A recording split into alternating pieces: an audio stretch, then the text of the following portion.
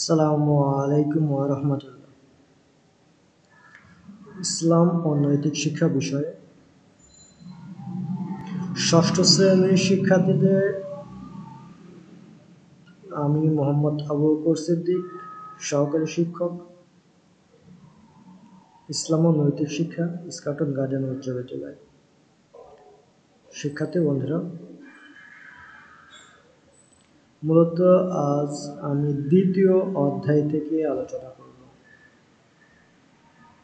শিক্ষার্থী বন্ধুরা চিত্রটার দিকে একটু মনোযোগ দিয়ে খেয়াল করো। মূলত চিত্রতে কি বোঝানো হচ্ছে? এখানে দেখো একটা নামাজের দলবদ্ধ হয়ে নামাজ পড়তেছে, সেরকম একটা ছবি দিয়ে আছে। এখানে ইফতার পূর্ব মুহূর্তের একটা ছবি দিয়ে আছে।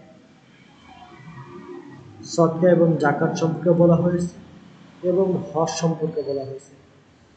শিক্ষার্থী বন্ধুরা, বলো দেখি আজকের আলোচনার বিষয়টা কি হতে পারে? শিক্ষার্থী বন্ধুরা, আজকের আমাদের আলোচনার যে বিষয়, সেটা হলো ইবাদত। শিক্ষার্থী বন্ধুরা, ইবাদতের ধারণা, তাৎপর্য সম্পর্কে বলতে পারবে, ইবাদতের প্রকারভেদ সম্পর্কে বলতে পারবে।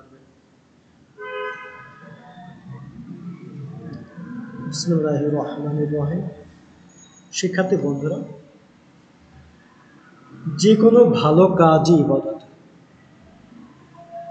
আমরা চব্বিশ ঘণ্টা খাওয়া, দাওয়া, উঠা, বসা, চলাফেরা, ঘুমানো, বই পড়া, প্রত্যেকটা কাজই ইবাদত হবে যদি সেটা আল্লাহর হুকুম এবং মহানবী সাল্লাহ ইসলামের তরিকায় হয়ে থাকে।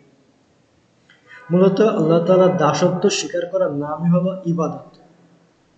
আল্লাহ তালার দাসত্ব স্বীকার করার নামই হলো ইবাদত। আল্লাহর সকল আদেশ, নিষেধ, বিধিবিধান মেনে চলার নাম ইবাদত। শিক্ষার্থী বন্ধুরা, প্রতিটি ভালো কাজ করার শুরুতে বিসমিল্লা বলে বললেই সেটা ইবাদত হয়ে যাবে। শিক্ষার্থীরা যেমন মনে করো আমি পথ দিয়ে চলতেছি, চলা অবস্থায় যদি ইল্লাল্লাহ সমতল ভূমিতে বলি, এটা আমার ইবাদত হবে। সিঁড়িতে উঠতেছি নিচের থেকে উপরে, আল্লাহ আকবর বলব, এই ওঠাটা আমার ইবাদত হবে। সিঁড়িতে উপর থেকে নিচে নামতেছি, এই নিচে নামা অবস্থায় সুবহান আল্লাহ বলতেছি। এই সুবহান আল্লাহ বলা সিঁড়িতে চলাচল করা এটা আমার ইবাদত। যখন আমি খাবার খাব, এই অবস্থায় যদি বলি বিসমুল্লাহ রহমান রহিম। বারিক লানা ফিমা রাযাকতানা ওয়া কিনা আযাবান নার বিসমিল্লাহি ওয়া আলা বারাকাতিল্লাহ তাহলে এই খানাটা আমার ইবাদত হবে খানার শেষে যদি বলি আলহামদুলিল্লাহ। আলহামদুলিল্লাহিল্লাযী আহইয়া আল্লাহুম্মা বিসমিকা আমুতু ওয়া ঘুমের ঘুমের শুরুতে যদি এইভাবে বলে শুরু করি এবং ঘুম থেকে উঠে ইলাইহিন নুশুর আমরা টয়লেটে যাব, টয়লেটে যাওয়া অবস্থায় আল্লাহর নাম নিয়ে যাব।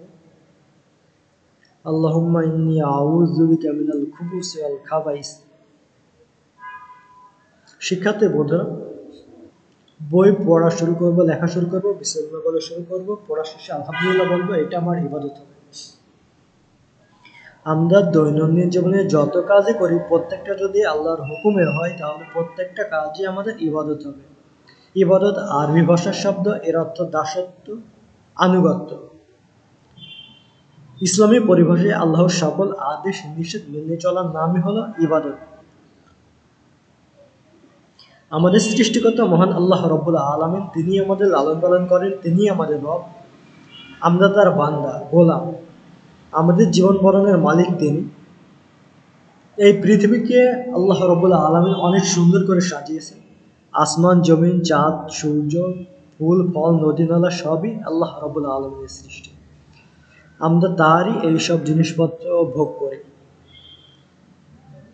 আল্লাহ রব্বুল আলমিন আমাদের যে অভ্রান্ত নিয়ামত দান করেছেন, এর জন্য আমাদের কৃতজ্ঞতা সুক্রিয়া আদায় করতে হবে। নিয়ামতের সুক্রিয়া আদায় করা হলে এটাই হবে আল্লাহ তালার ইবাদত।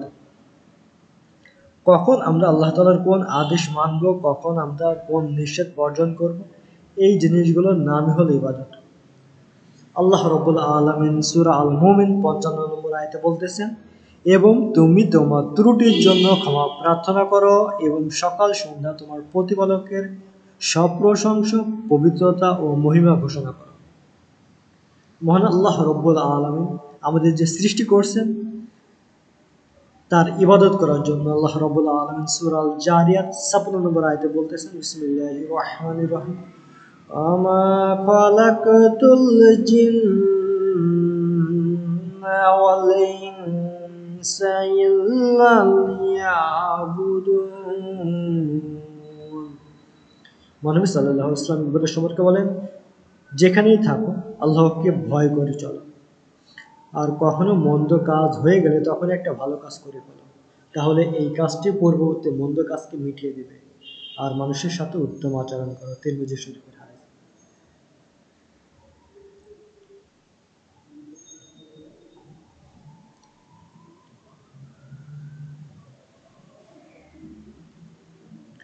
যেখানে আল্লাহ তালা তার বড় বড় দানের কথা উল্লেখ করেছেন, সেখানে তিনি রসুল্লাহ সাল্লাহ ইসলামকে আব্দুল বলে সম্বোধন করেছেন।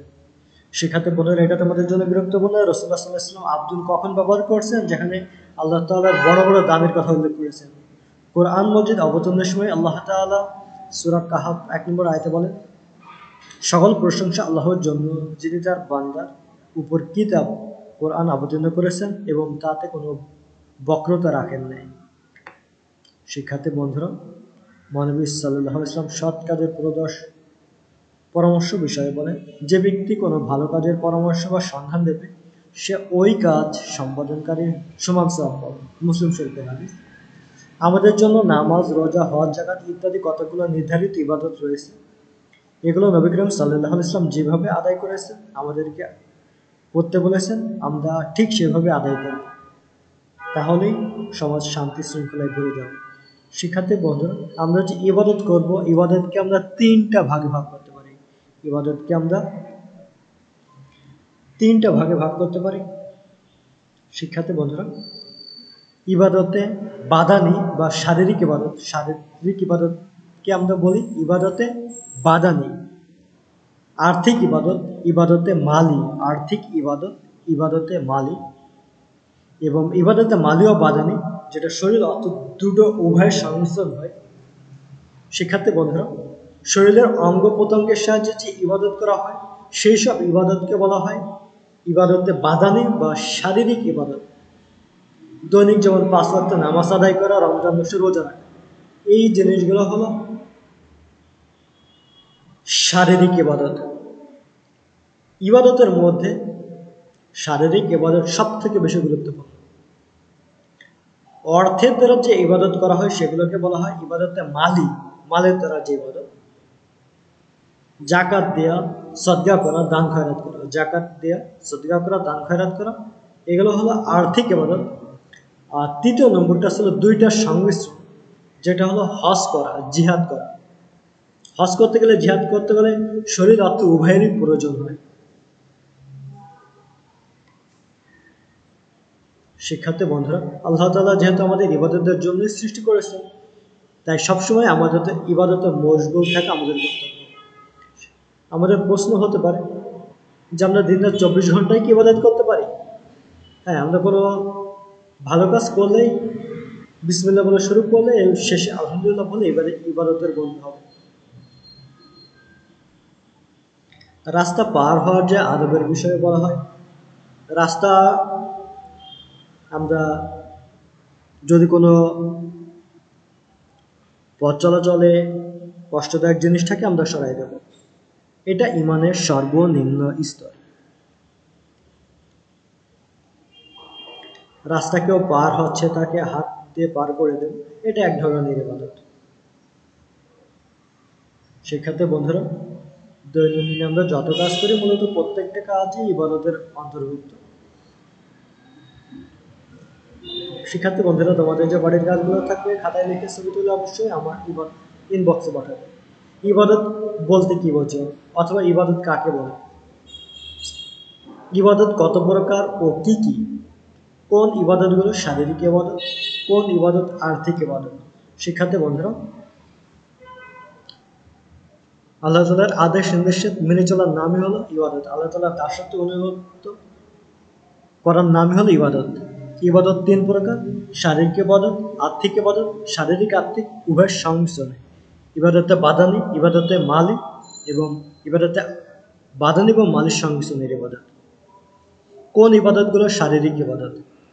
শিক্ষার্থী বন্ধুরা, শরীরের সংমিশ্রণের যে ইবাদতগুলো হয়, যেমন সালাত আদায় করা, রমজান মাসে রোজা রাখা, কোন ইবাদতগুলো আর্থিক ইবাদত? জাকাত দেওয়া সদগা করা, দান করা, এগুলো আর্থিক ইবাদত। শিক্ষার্থী বন্ধুরা, আশা করি বাড়ির কাজগুলো সবাই করবে। সকলের সুস্থতা, সার্বিক মঙ্গল কামনা করছি। আল্লাহ হাফেজ।